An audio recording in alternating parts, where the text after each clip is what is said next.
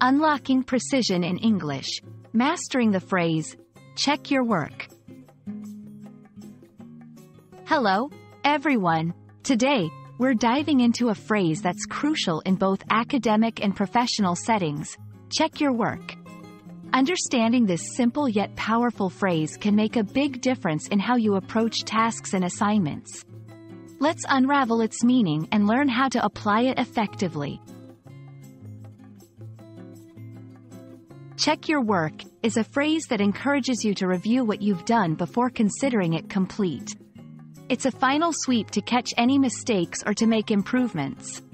This phrase is commonly used in academic settings, like during exams or while doing homework, and in professional scenarios, such as when you're preparing a report or a presentation. Checking your work is essential because it reduces errors, it helps catch mistakes in spelling, grammar, or calculations. Improves quality. It allows you to refine your thoughts and present them more clearly. Builds credibility. Consistently accurate and well-polished work enhances your reputation for reliability and attention to detail. Here are some strategies to check your work effectively. 1. Take a break.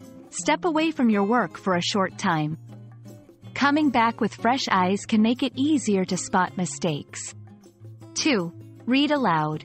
Especially for written work. Reading aloud can help catch errors that you might not notice when reading silently. 3. Use tools. Don't hesitate to use spell checkers or grammar tools, but remember, they're not infallible. Your judgment is crucial. 4. Seek feedback. If possible, have someone else review your work. A fresh perspective can catch errors you might have overlooked. Time pressure. Sometimes, you might feel rushed and skip checking your work.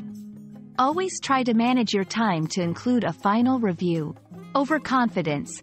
Even if you're confident in your abilities, errors can slip through. A quick review can save you from future troubles. Check your work isn't just a phrase. It's a habit that can significantly improve the quality of your outputs, whether in school, at work, or in any project you undertake. Remember, the few extra minutes you spend reviewing can make a big difference. We hope you found this video helpful and that you'll implement these tips in your daily routine. Happy learning, and see you in the next one.